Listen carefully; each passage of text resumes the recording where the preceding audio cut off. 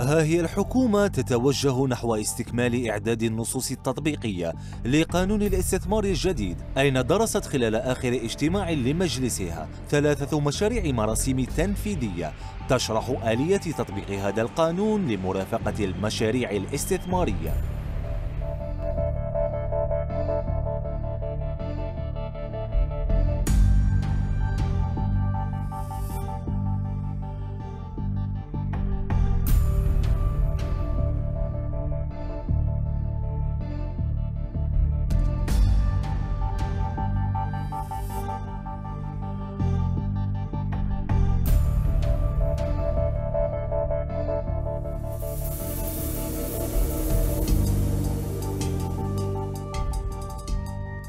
مشاريع المراسيم التنفيذية الثلاث تركز أساسا على توجيه المزايا الممنوحة من طرف الدولة وتحديد قوائم النشاط والسلع والخدمات غير القابلة للاستفادة من المزايا وفق دراسة معمقة للنسيج الصناعي لبلادنا.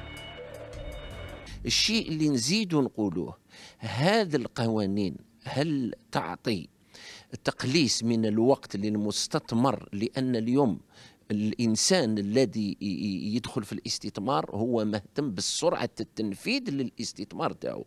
لأن الدراسات وقلنا ونعاودوها ومازلنا رانا نبقى نعاودوها والسلطات لازم تفهمنا. نحن كمستثمرين ناخذ وقت كثير هذا هو المهم كثير في تحضير ملف الاستثمار يعني الدراسات. الشيء المطلوب هو التنفيذ لابد لا يأخذ وقت.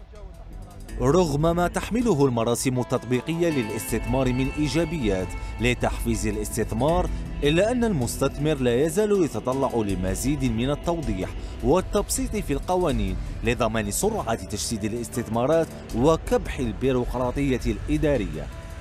الشيء اللي لازم نقولوه ونعاودوه وقلناه مازلنا نزيدو نعاودوه هي آه، ما أتى به رئيس الجمهورية هي محاربة البيروقراطية. وتكلمنا وقلناه كم من مرات.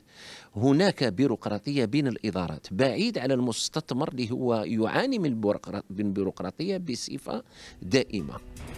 قرابة الثلاث سنوات والمشاريع الاستثمارية شبه غائبة. اليوم مع صدور قانون الاستثمار الجديد ها هي الحكومة تضع الرتوشات الأخيرة على نصوص تطبيقية ترافق المستثمرين في تجسيد المشاريع على أرض الميدان.